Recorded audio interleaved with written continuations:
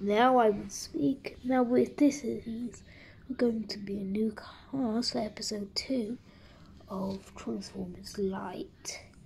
These are going to be some of the characters. These are going to be the characters, isn't it?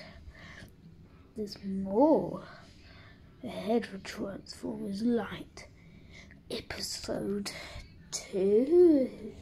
Trust me, this is gonna be good episode.